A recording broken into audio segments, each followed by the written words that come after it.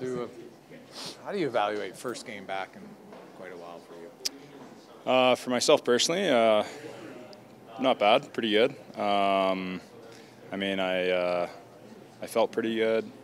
It took a little while for the game to kind of get going. Um, you know, obviously I had three shots in 30 minutes, something like that. So it t- took me a little while, but after uh, after the, I mean, they were roaming around. They were just making good plays, just weren't getting some shots off. But after they were getting some shots, I started to get the feel for the puck. It got a lot better. Is that something that it's not like you'd ask your guys, hey, let them have some shots, but it's kind of a fine line where you're like, I'd like to see some the puck a little bit just to get in rhythm.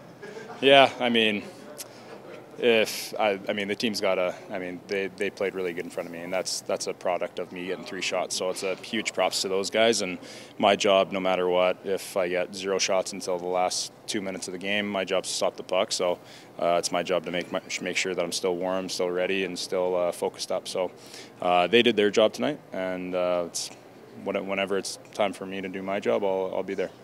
How many games uh, kind of would you like to play or you feel would be appropriate for you to prepare for the season? Um, I think I think probably three. Uh, I think three is good. I know we're doing full 60s, so um, it'll be nice just to you know get into the rhythm of, of games. Um, you know, normally in the past we'll do half a game or one period. It's nice to kind of get the full 60 right under the belt.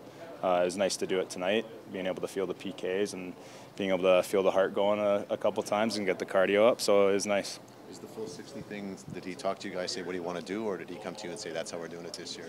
Um, it was just, just a conversation between everybody. Um, we were kind of just talking about what's going to be best for us uh, as a group and uh, kind of came up with that solution. So, uh, yeah, we're, we're gonna we're gonna test it out this preseason, and it'll uh, it'll be fun. It'll be nice for us. Remember last year you talked about how um, not having a lot of pucks, you, you, know, it was a work on your focus, and you wanted to improve there. How did you how do you feel? Did you notice a difference? Were you able to keep yourself in the game despite not getting a lot of rubber? Yeah, I mean, every day is different. Um, today there wasn't a ton of distractions going through my mind, which was nice, but that changes every single day. Tomorrow there might be a million distractions going on in my mind, so it's uh, it really depends on the day. But um, again, that's kind of what I've been working on is making sure that I'm being able to stay focused and do the things that I need to do to be successful.